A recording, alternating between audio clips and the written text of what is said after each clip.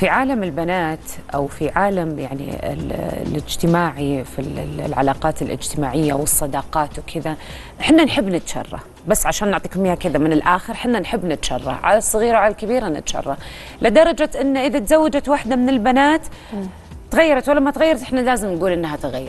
أيوة. تغيرت علينا ما عاد تجي عندنا ما عاد تزورنا ما عاد تكلميني ما عاد تفضفضين لي ما عاد.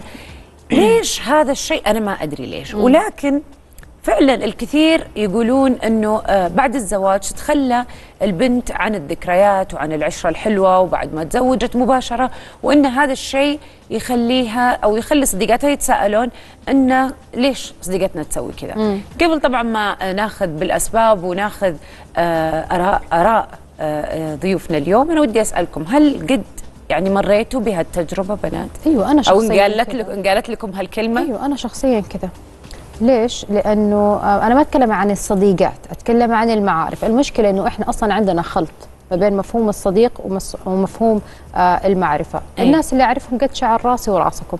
كلنا كذا مع بعض. بس هذا مو معنى إنه هم أصدقائي. صح. بس لما أمر لمرحله انتقالية ثانية في حياتي. أنا من حقي أخذ الناس اللي هي تضيف لي والناس اللي ما تضيف لي ما أبغاها. إيش اللي يمنع؟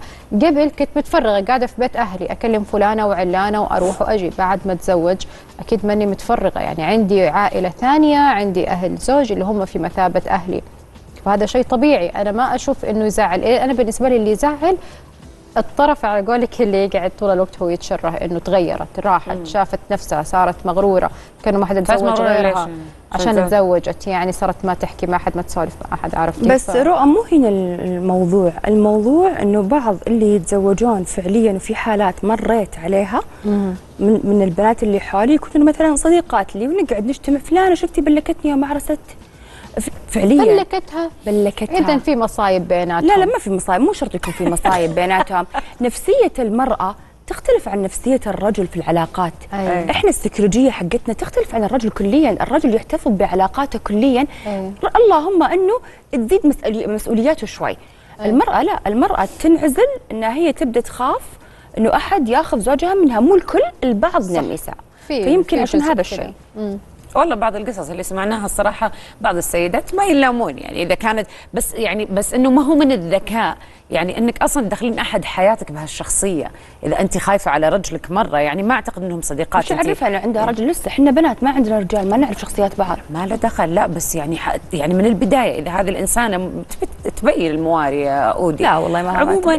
عموما عموما عموما الحياة الزوجية يجي معها الكثير من المسؤوليات الكبيرة وتخلي الوحدة في بعض الأحيان غصبا عنها أنها تقنن من علاقاتها وتصغر الدائرة اللي عندها وتركز في حياتها الجديده وتعطيها مساحة واهتمام. عشان نتكلم أكثر عن هذا الموضوع تنضم لنا في الاستديو الأستاذة ريم الحربي أخصائية اجتماعية ومرشدة أسرية. يا أهلا وسهلا. فيك وعليكم السلام ورحمة الله. أستاذة ريم شلونك؟ شو أخبارك؟ والله تمام. حياكم الله جميعا. يا أهلا وسهلا. فيك سمعت طبعا النقاش قبل شوي. صحيح.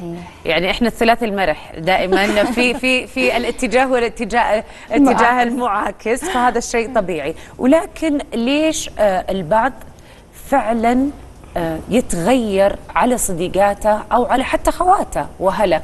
بعد الزواج. وهل هذا الشيء طبيعي في علم النفس أو لا؟ طيب آه التغير على حسب الشخصية أساسا. آه في تغيرات كثير آه على حسب شخصية ال- العلاقات آه الصداقة بشكل عام والعلاقات الاجتماعية. قد يكون لديها مخاوف. مثلا أخاف من صديقتي أخاف أنه تاخذ زوجي أخاف أنه أظهر حياتي للآخرين. يعني يكون عندها مخاوف مستقبلية أو كثر ما تشاهد قصص وأشياء هي اللي أثرت عليها بشكل آه سلبي. طب عشان نفهمها أكثر إيش العوامل النفسية والاجتماعية اللي تأثر على البنت اللي تخليها تتوقع هذا الاعتقاد كله؟ طيب العوامل النفسية والاجتماعية. حلو إنه آه شاركتوها مع بعض أو ربطوها مع بعض النفسية والاجتماعية لأنها مرتبطة أساسا. آه العوامل النفسية والاجتماعية هي تتمحور حول التنشئة الاجتماعية أو مفهوم آه، الفتاة أساسا. أنه لا تقولي مثلا لصديقاتك أو أنتبهي لا تظهرين أشياء إلى آخره. تمام؟ أو مثلا تكون علاقة الصداقات آه، تكون علاقة آه، غير صحية بحيث أنها علاقة تنافسية أكثر. آه هذه يسمعوا مثلا قصص. مثلا شوفوا هذه راحت هي زوجها ومدري إيش وصار لهم كذا وكذا. مقارنات. أيوه يكون في مقارنات. فالنفسيه والاجتماعية هذه تصير تأثر على نفس ال- الفتاة بحيث إنها خلاص هي تفكر إنه خلاص أنا أعتزل عزلة اجتماعية عن صديقاتي ما أبغى أحد أكون صديقات جدد ما يعرفوني ولا شيء. آه، لما تنعزل بعدين تدرك أو يكون عندها وعي آه، تصير هي آه، تقول لا أنا غلطت أنا ما أدري إيش وش يصير؟ تلوم الحياة الزوجية.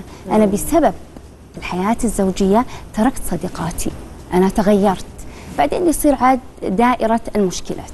طيب ليش تلوم الحياة الزوجية إذا هي كونت علاقات جديدة؟ بمحض اختيارها. متعلقة أساسا بعلاقاتها السابقة. مثلا تشوف تشوفهم بسناب رايحين مع بعض يسافرون آه. مبسوطين. إيه زي كذا. أيوه عاد بني آدم طماع يبغى إيه، كل شيء. طبعا عن في اللحمة. وعن في الشحمه إيه. بالضبط. طيب أيضا خلينا آه، لو بنعرف طب شلون البنت تقدر إنها توازن؟ عشان يعني شوفي الزواج شيء يعني آه، مكتوب ومقدر والواحد ما يدري متى يجي. مع العلاقات ال ال ال الاجتماعية والعلاقات والصداقات. إحنا عندنا صديقات يعني أعتقد من سنين السنين بمثابة الخوات فإحنا نبغى نوفق يعني نبغى نعطي كل شيء وكل أحد حقه. شلون؟ ممتاز. طيب الموازنة أساسا بالحياة بشكل عام مهمة جدا. تمام؟ آه دائما إحنا ناخذ متخذ إنه آه خير الأمور أوسطها أساسا. صحيح. لا إنه آه نبتعد ولا إنه نقترب. فالموازنة يكون عندها أول شيء وعي. وعي ذاتي مهم جدا. يكون عندها إدراك تحديد المهام تحديد الأهداف إنه أهدافي أنا كحياتي الزوجية أساسا. قبل ما تقبل على الحياة الزوجية لابد يكون عندها وعي. لابد يكون عندها مثلا آه، تهيئة لتهيئ المقبلين للزواج. كيف أنا أوافق ما بين علاقاتي الاجتماعية وما بين زوجي وما بين أسرتي؟ لأنه راح تكون في مرحلة انتقالية جديدة. المرحلة الانتقالية تتكون من زوج من أهل زوج من أقارب زوج من ناس جدد. فعشان ما تخلف هذولا ولا تختلف عن هذولا يصير خلاص آه، تمسك العصا من النص من الآخر يعني. صحيح. طيب الزوج اللي يفرض على الفتاة قطع علاقتها بصديقاتها هل تعتبر الزوجة هنا ضعيفة شخصية إن هي سمعت كلامه؟ طيب آه، إحنا ما نقول إنها ضعيفة شخصية. قد يكون على حسب آه، تنشئتها الاجتماعية أو على حسب آه، طريقتها هي طريقة أسلوبها أساسا. آه، آه، خلاص أنا فاهمة الحياة الزوجية كطاعة فقط. إنه تنشئتي الاجتماعية أو نشأت إنه الحياة الزوجية هي طاعة الزوج. ولكن كأنه يفرض آه، رأيه عليها هذا المفترض يكون في توافق أساسا ولا يكون فيه آه، فرض رأي. اي بس هو بالعادة الزوج في هذه المرحلة يبدأ يعمل تيست يعمل اختبارات كذا. لا عشان اللا هو مو ما. يكون في سبب بس يبغى يشوف تدرين هذه أي. الأخطاء اللي توصلنا إحنا في الاستشارات أي. توصلنا بداية الزواج إنه خلاص وش يصير في الزوج فرض رأي أنا قلت لا تطلعين مع صديقاتك أي. أو إنه آه خلاص اقطعي صديقاتك أو أنا أعرف. مصلحتك إيه أنا أو. هذه أنا سمعت عنها أنت تسمع أنا ما أسمع يعني أيوه فمن هنا تبدأ عاد المشكلة يا إنها تنسحب عنهم يا إنها تعاند و طب وإيش الصح؟ لا الصح الموازنة التوافق دائما أنا أقول بالحياة الزوجية التوافق مهم طيب قال. لها لا تكون علاقتك كويسة مع هذه البنت اقطعي علاقتك فيها إيش المفروض من المرأة المتزوجة إنها تتصرف مع زوجها؟ طيب المفترض إنها تقول أعطني الأسباب عادي الحوار آه، متاح أنت حاور مع بعض بأسلوب أحترم وجهة نظرك وأنت تحترم وجهة نظري. أنت تتقبل مني وأنا أتقبل منك. ليش؟ لأنه أساسا مبدأ الحياة الزوجية مبني على التقبل. أتقبل صحيح. شريكي ايا كان. وأتقبل وجهة نظر شريكي. صح. دائما العلاقات آه، تبدأ تخرب لما يدخل طرف ثالث. طبعا. وإحنا مشكلتنا ما نعرف نسكت. ما نعرف نقفل هذا. هذه مصيبتنا. أعترف. صح. أعترف حنا نحب نسولف نحب نفضفض.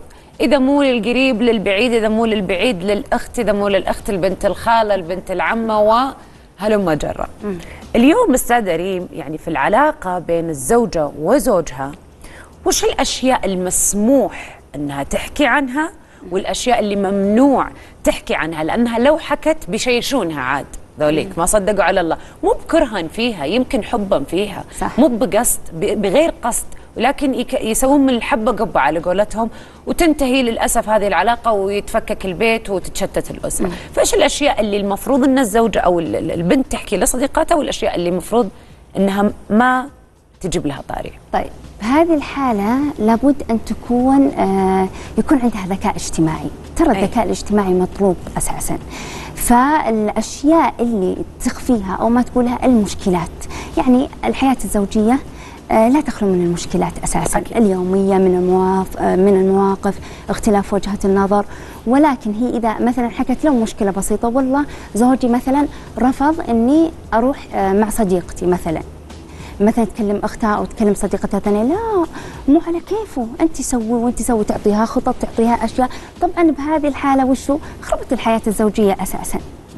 فأنا من وجهة نظري كمختصة إنه المشكلات ما تطلع للآخرين سواء أهل سواء صديقات أيا كانوا آه، بس يطلعونها الميل المختصين فقط ليش للمختصين؟ لأن المختص أولا ما يعرفك هذا يكون واحد. حيادي. إيه آه، ويكون حي- حيادي فعلا. الشيء الثالث وهو الأهم هو يعطيك تبصير للمشكلة بالأساليب العلمية والفنيات العلاجية بطريقة تتناسب مع حياتك. جميل. طيب الدعم المطلوب من الصديقات اتجاه اتجاه صديقتهم المتزوجة وش؟ هو المفترض يكون دعم إيجابي أساسا كمساندة إيجابية آه، يدعون لها دعم إيجابي آه، يعني يبتعدون عن الضغوطات النفسية لأنها هي تكون شوي آه، مضغوطة. يعني أنا أشوف إنه في أمور لازم تبان من البداية يعني من مرحلة الخطوبة. هي مرحلة الخطوبة هي المرحلة اللي يكون فيها تعارف أعرف طبايعه ويعرف طبايع والإنسان يكون صادق في هذا الوقت. يعني إذا هو مثلا انزعج من من من طلعات أو من أشخاص معينين لما يكون في كلام من البداية واضح وصريح ما بيناتهم بيكون هذا الشيء مريح. وهي كمان مثلا ممكن تبين له إنه أنا طبعا إني أحب آه، مثلا يوم في الأسبوع نطلع نجتمع فهذا شيء طبيعي. بس هي الفكرة يعني اللي كنا بنحاول إحنا نركز عليها إنه ال- البنت بطبيعة الحال بتمر بتغيرات كثير فبالتالي هي تضطر إنها تغير برضه من حياتها من أسلوب حياتها وحتى من علاقاتها أو صداقاتها. هنا يعني آه، ال- الناس اللي يقولوا فلانة اتغيرت علينا إيش ممكن يعني تقولي لهم؟ طيب آه لما يقولون لها إنه آه تغيرت علينا آه يشوفون وش سبب التغيير؟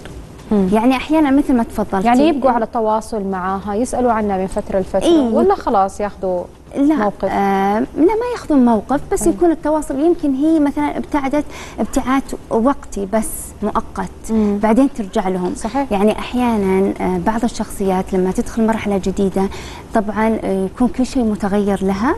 بعدين وش يصير بالتالي؟ آه يصير إنه تبتعد شوي يصير في مسافة آه آمنة بين الصداقات بعدين ترجع. صحيح. إيه. هذا. استاذة ريم الحرب يعطيك العافية وشكرا لك يعافيك. اليوم معنا. الله يعافيك تشرفت فيكم صراحة. نورتيني. يا مشاهدينا الوسواس القهري من أصعب الأمراض النفسية فما هي طرق السيطرة عليه بعد الفاصل.